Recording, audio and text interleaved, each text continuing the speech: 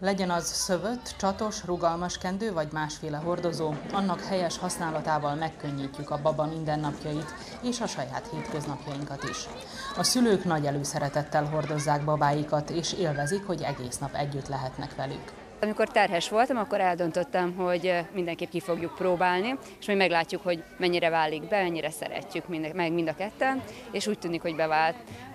Amint felkötöm a kendőbe, ő alszik, én nekem van két kezem, és bármit el tudok végezni otthon. Egészségesebb a babának, illetve megvan az a közelség anya és a baba között, úgyhogy mindig nálam van, mindig mellettem van, és akkor ez, ez egyértelmű volt, hogy a hordozás a Nemzetközi Babahordozó hét idején Szabadkán hatodik alkalommal szerveznek sétát, de idén ez egy önszerveződésnek köszönhető, hiszen az eddigi szervező, az Expecto Mental Higiene Alapítvány ehhez kapcsolódó tevékenysége megszűnt.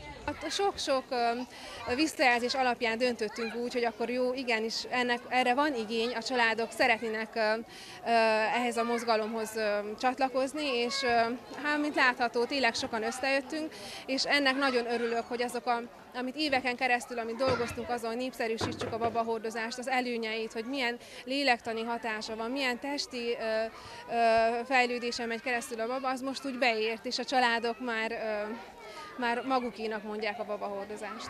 A rendezvény a népkörben kezdődött, ahol a hordozási tanácsadó segítette a szülőket a kendő helyes használatának elsajátításában.